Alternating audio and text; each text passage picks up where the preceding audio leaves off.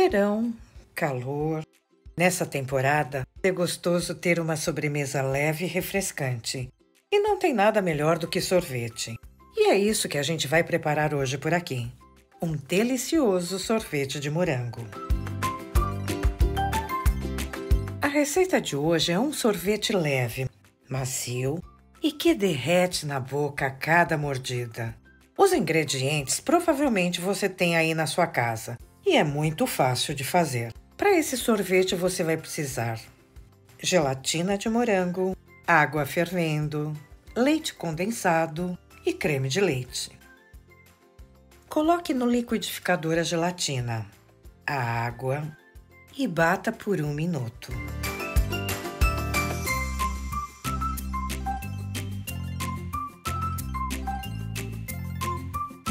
Acrescente o leite condensado,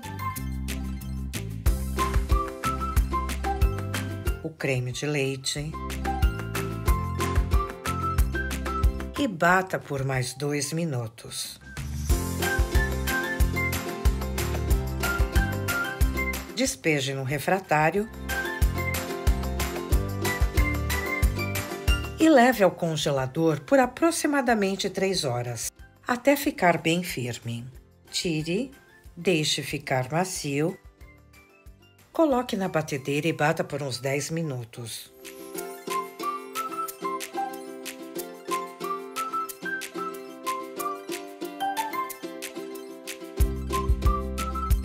Despeje num pote ou num bowl. Leve ao congelador até ficar bem firme. E está pronto para servir. Um delicioso sorvete de morango feito em casa. Fácil, né? Experimente fazer. Não se esqueça de se inscrever no nosso canal no YouTube e acionar o sininho para você receber sempre as nossas dicas e inspirações. Aguardo você na próxima.